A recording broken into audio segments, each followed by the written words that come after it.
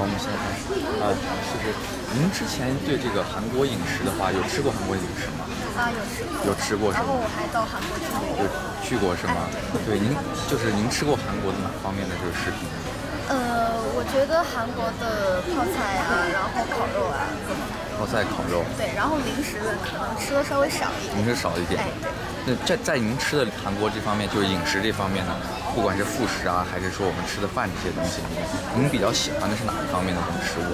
哎，我觉得都挺好吃的。都挺好吃的，应该有一个比较喜欢的那种，比较喜欢的。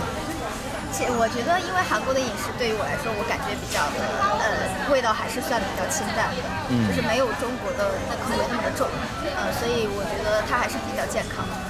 我觉得比较健康哎，就是整体的话都是比较喜欢这样子的，是吗？那咱们这边的话，就是，呃，您在购买选择韩国的饮食产品的时候，会选择去在武汉的一些什么样怎么样的商店或者商场去选择？呃，一般来说会在稍微呃，就是可信度高一点。